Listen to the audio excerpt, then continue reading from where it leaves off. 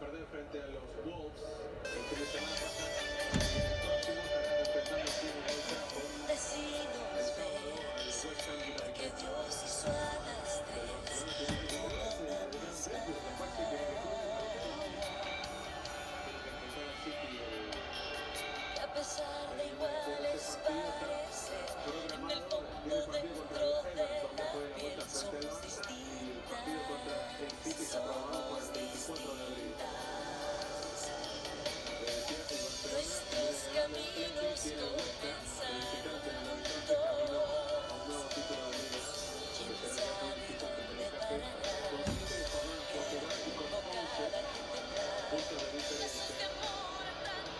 yourself.